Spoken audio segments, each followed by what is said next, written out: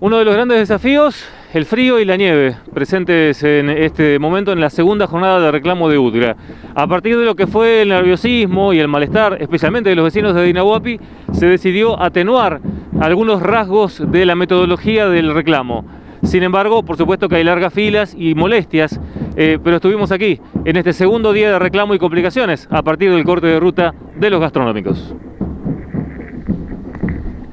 Sí, ayer fue un día complicado, lo que pasa es que, bueno, yo primero que nada hablé con la gobernadora, la gobernadora también se estaba ocupando del tema, este, luego hablé con, lo llamé a Ovidio Zúñiga, digamos, para, buscar una solución, ¿no? Porque lo que hablábamos es, eh, el reclamo de ellos es justo, yo lo entiendo, están en jurisdicción nacional, y están en el departamento de Bariloche, ¿no? ni siquiera están en Dinahuapi, pero los más perjudicados son los vecinos de Dinahuapi.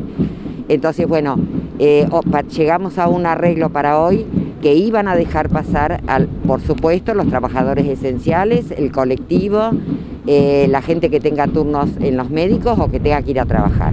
Eh, la gente va a demorar un poco más, la cosa va a ser un poco más lenta, pero vemos que organizaron como para que los vecinos de Inahuapi puedan llegar a Bariloche.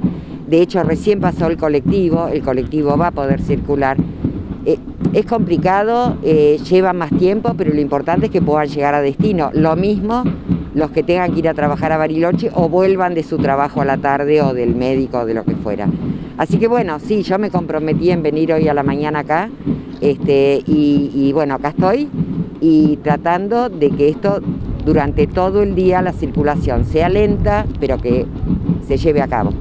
Eh, lo interesante de aquí es que bueno, el sindicato expresa su reclamo, eh, necesita generar una reacción para que el reclamo sea visible. Eh, no pasa en jurisdicción de Dinahuapi, pero el único y directo afectado es Dinahuapi, porque es el único ingreso, con lo cual era muy difícil. Es lo que yo le decía ayer a Zúñiga, que le decía, a lo mejor los vecinos de Bariloche ni se enteraron de esto, pero como él, él me decía, pero el reclamo no es a Bariloche, el reclamo es a Nación. Pero los perjudicados fueron los vecinos de Dinahuapi, sí.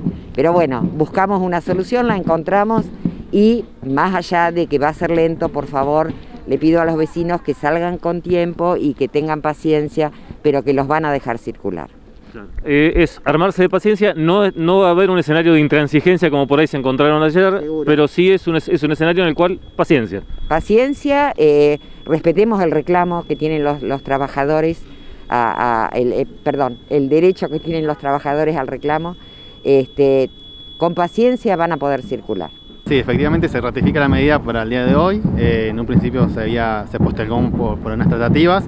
Se va a modificar la flexibilidad en cuanto a la modalidad de, ayer, que ayer fue más estricto el corto, sí se va a dejar pasar, por ahí se va a tener en cuenta más a los vecinos de la localidad de Inohuapi que se dirigen hacia Bariloche, por lo cual va a haber eh, circulación, no va a ser un corte estricto y se va a seguir manteniendo eh, las situaciones de emergencia, de salud, de bomberos y demás, y de la misma manera que se hizo ayer, turnos médicos y demás.